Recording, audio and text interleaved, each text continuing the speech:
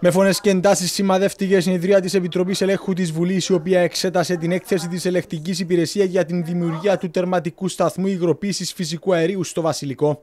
Η έκθεση που είχε δοθεί στη δημοσιότητα την προηγούμενη εβδομάδα έκανε λόγο για σκάνδαλο εκατομμυρίων κατηγορώντας την προηγούμενη κυβέρνηση για την ΔΕΦΑ ότι απέκρυψαν καθυστερήσεις και επιπλέον δαπάνες προς τον εργολάβο του έργου.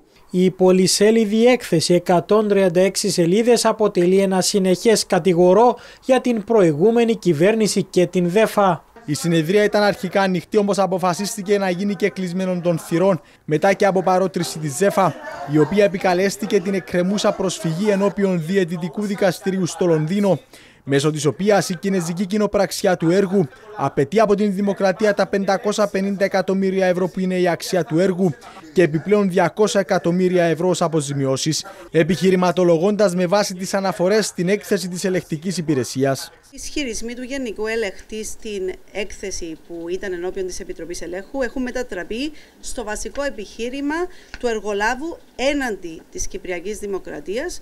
Οι ισχυρισμοί που έγιναν από το Γενικό Ελεκτή, οι οποίοι δεν έχουν συμμεριστεί, ούτε τεκμηριώνονται, ούτε από άλλους ανεξάρτητους φορείς όπως μας λέχθηκε σήμερα, ούτε από την νομική υπηρεσία. Λήψη και ανάκτηση το ότι για ένα έργο το οποίο σε άλλες χώρες γίνεται 6 μήνες Εμείς από το 18 που επικυρώθηκε η προσφορά μέχρι σήμερα καρκινοβατούμε. Η Γερμανία σας παρακαλώ, αντίστοιχα έργα, τέσσερα των αριθμών, όχι ένα, έκαμε τα σε έξι μήνες.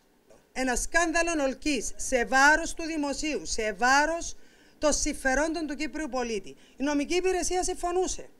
Ε, τώρα που πρέπει να γίνουν έρευνες, να δούμε ποιοι έχουν την ευθύνη για την κατασπατάληση εκατομμυρίων. Πώς θα το κάνει η νομική υπηρεσία; Ο Υπουργός Ενέργειας στην δική του τοποθέτηση παραδέχθηκε αστοχίες και προβλήματα. Ωστόσο, τόνισε ότι το Υπουργείο του πρέπει να κάνει ό,τι μπορεί ώστε το έργο το οποίο έχει ήδη φτάσει στο 75% να ολοκληρωθεί εντός του έτους. Προς τούτο, ο ίδιος αναλάβει πρωτοβουλία άρσης του αδιεξόδου.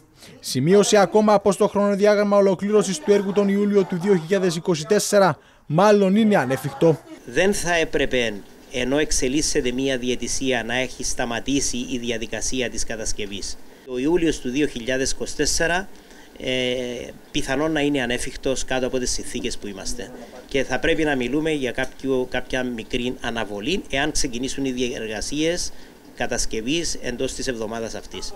Η κυβέρνηση πιθανότατα θα προτείνει στον εργολάβο μεσολάβηση αντί της διαιτησίας προς επίλυση της διαφορά, ενώ η Επιτροπή Ελέγχου θα επανέλθει με πρόσκληση προς τους πρώην Υπουργούς Ενέργειας αλλά και τον προηγούμενο πρόεδρο της ΖΕΦΑ.